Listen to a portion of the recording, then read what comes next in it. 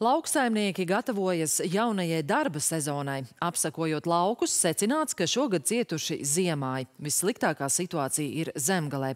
Plašāk stāsta Ilze Daukainte Stereģi no Zemgales reģionālās televīzijas.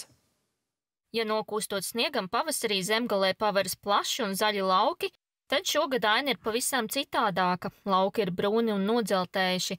Zemnieku saimniecības Lazdiņa saimnieks Zemgales pusē apsaimnieko zemi 1500 hektāru platībā.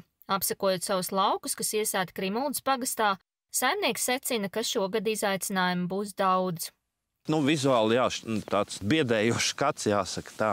Mēs varam izvērtēt, ka pie vēl sliktākiem laika apstākļiem nu, varētu aps, apsalt visas lapas. Tas nozīmē, ka daudz vairāk enerģijas kultūra augam būtu vajadzīgs iestājoties pavasarim, lai viņš saražotu to masu, lapu virsmu, kas ir nepieciešama vegetācijas periodam. Marta pirmajā pusē Latvijas lauka atbalsta dienas veiktais ziemāju stāvokļa apsakojums liecina, ka šogad ziema augiem ir bijusi salīdzinoši labvēlīga, jo augi apsaluši tikai virskārtā, saglabājot to vegetācijas spējas.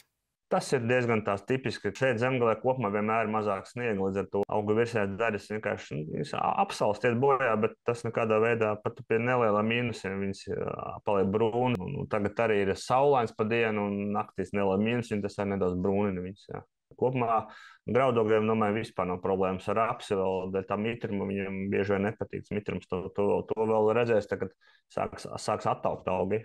Kāda būs raža, šobrīd pateikt nevar neviens, taču zemnieki satraukt par to, ka viņiem var nākties augus piebarot ar minerālu mēslu palīdzību, kas pērn rudenī iepirkti par rekordaugstām cenām. Mums ir gaidām priekšā pavisam citi izaicinājumi, ja, lai veicinātu šo kultūra augu produktivitāti. Protams, ka mums ir vairāk jālieto attiecīgi minerālu mēsli, kas, kas šobrīd, ir, šobrīd ir dārgi. Zemnieki prognozēja, ka sadārdzināsies graudu pašizmaksa, un bažas rada arī tas fakts, ka pēdējo mēnešu laikā globālajā tirgu graudu cenas strauji krītas. Mēs varam vilkt paralēlus ar piena nozari, kas šobrīd saskārās ar būtisku cenu samazinājumu. Tas pats ir noticis attiecībā uz graudu tirgu. Cenas ir nokritušās būtiski pēdējo divu mēnešu laikā vairāk par 20%. Zemnieks arī lēš, ja laika apstākļi būs slikti un arī tirgus būs nelabvēlīgs, to izjutīs arī gala pircējs, taču pagaidām precīzākas prognozes izteikt ir grūti.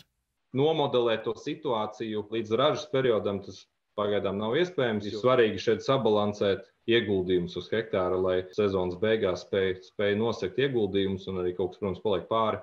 Zemgala tiek uzskatīta par Latvijas maizes klēti. 70% no lauksainiecībā pieejamās zemes atvēlēta ziemas un vasaras kviešu sējumiem, un 20% ir apsim. Ilza Daukanta Sterģe, Mikus Andersons, Zemgales reģionālā televīzija.